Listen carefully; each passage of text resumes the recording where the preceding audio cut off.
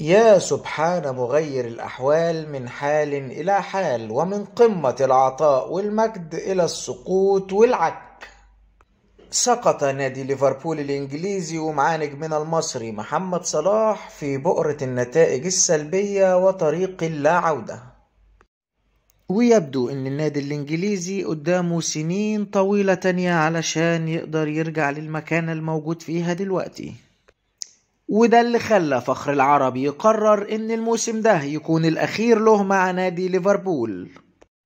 وأكدت صحيفة ديلي ستار الإنجليزية صباح اليوم إن محمد صلاح أبلغ ليفربول رسميا إن الموسم ده هو الأخير له. نفس الصحيفة أكدت إن الوجهة المقبلة لمحمد صلاح هتكون أسبانيا في ظل صراع قطبي الكرة الإسبانية ريال مدريد وبرشلونة على خطف فخر العرب. وأكدت الصحيفة إن النادي الأقرب لمحمد صلاح هو نادي ريال مدريد وده اللي بيفكر فيه محمد صلاح.